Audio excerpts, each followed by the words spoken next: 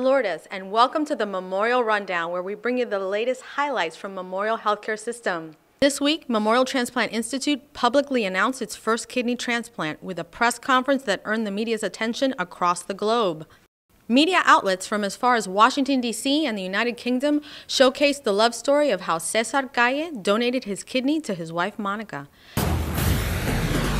A South Florida couple's proving to be a perfect match in more ways than one. Hey, it sounds like a movie, right, Eric and Shirley? Good morning to the both of you. Now, Monica Calle says she was looking for the past two and a half years for a match for a kidney transplant. And what she didn't realize is that for the past 23 years, that match has been next to her all along. The Institute is the only one of its kind in Broward County and one of only two programs in South Florida to offer kidney and heart transplants to both children and adults.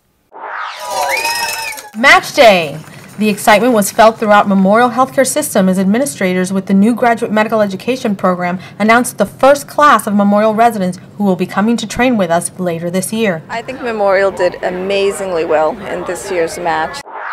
Also, a congratulatory shout out to the Tour de Broward.